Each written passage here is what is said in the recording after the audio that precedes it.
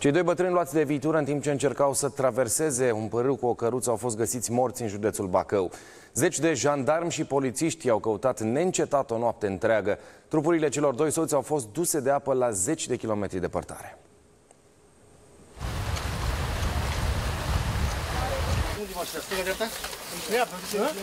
Uite aici la zone.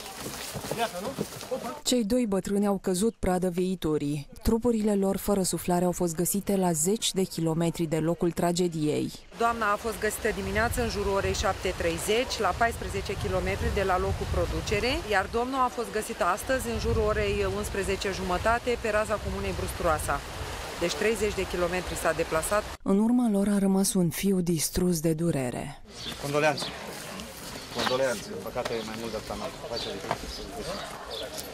Cei doi soți de 70 și 78 de ani traversau un pârâu afluent al Trotușului, un drum pe care l-au făcut de multe ori. Nu se așteptau să intre în ghearele morții. Soț, soție, șcal, caruță, cu tot s-a distrus. Printre același loc treceau mereu, mereu, și la deal și la vale, ca vitele sau stânăși.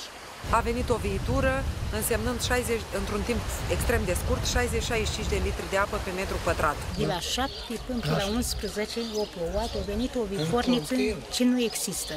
În 40 de minute la 4 case. De frica viitorii sătenii au făcut noapte albă. Cum ați dormit? Așa ca iepuria.